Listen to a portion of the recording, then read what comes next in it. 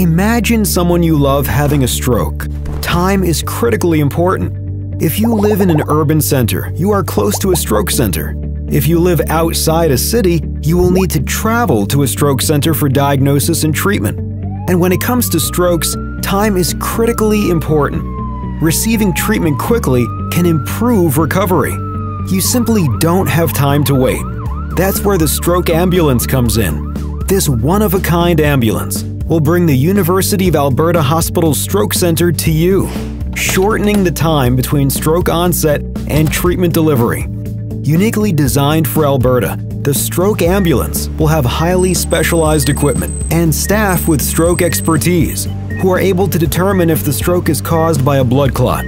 And because they'll be connected to an attending stroke neurologist, diagnosis is rapid, so clot busting medications can be administered immediately. Together, we can bring the stroke ambulance to Alberta and give patients living in both rural and urban communities the timely care they need to minimize the impacts of a stroke. Help save time and save brains. Give today.